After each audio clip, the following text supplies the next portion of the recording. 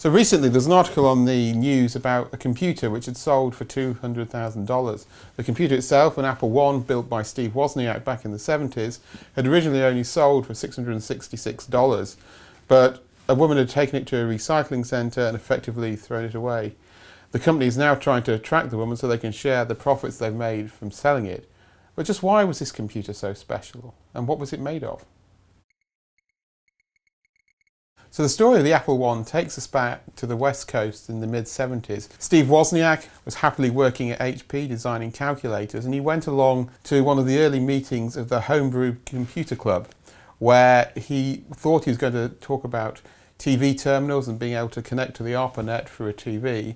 But actually everyone was talking about the cover of Popular Electronics where the MITS Altair 8800 had just appeared on the cover. It was probably the first computer that used a microprocessor as its CPU rather than building it discreetly out of logic chips. And if you want to know more about it, click here where Jason at the Centre for Computing History in Cambridge will explain theirs they have with serial number 3. Wozniak hadn't even heard of these CPUs at the time but was interested and he was given a data sheet for the 8080 which was at the heart of the machine and took it home and began to look over it and he realised it was very similar to a computer he'd built previously out of discrete logic comp components, which he called the cream soda computer because he'd built it out of cream soda cans for the case. So he started looking at this and very quickly realised that he could design a computer based around this using very few chips and the CPU, some RAM, some ROM, and put it together to build a complete computer for much less than the cost of the Altair. He then realised that he could link it into a terminal he'd built, and the terminal was just a machine that you could use to connect to ARPANET through a normal te uh, a television which he'd done there.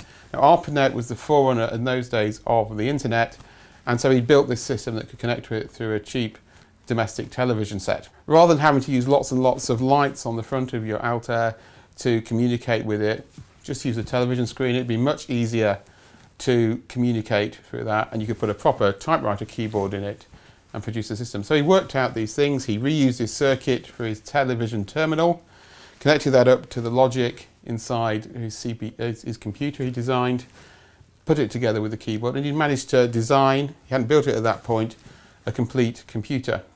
He then looked at the design and someone he was working with suggested he looked at a different CPU called the 6800 because it was considerably cheaper and he could get one as an HP employee for about $40. So he redesigned the system using that.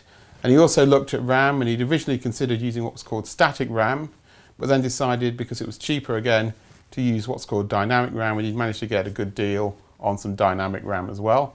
So he redesigned his circuit. And then he'd heard about a new chip, which was the 6502. This chip is used in lots and lots of computer systems right through to the mid 80s, things like the BBC Micro, the Commodore 64 and so on. So he redesigned the circuit again around this, although it's just basically plugging in the new chip. And he then went off to build the computer. Normally, something like the Altair and other computers at that time, you would program them by having switches on the front to type in the memory locations and the data that you wanted to store there. What Wozniak realised, because he was working with calculators at the time at HP, is that calculators were effectively computers to some extent. They had programs, they had processors, they did things, you put input.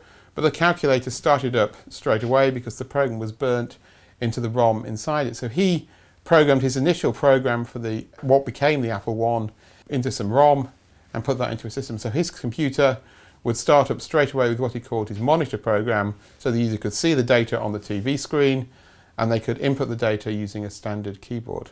And it's perhaps this that made the difference between the Apple I and whatever everything that followed it and what had come before in terms of computers. Because before, yep, you could plug a keyboard in, yep, you could plug a video display in, but actually most of the time you're entering the data to get it started at least via the toggles on the front. What Steve Wozniak's genius moment was, was that he actually replaced that with a small bit of program built into the system and a VDU display using a typical telly and a keyboard for entry. So you went from being something that only hardware hackers were perhaps comfortable with to the forerunner of the PC that we know today.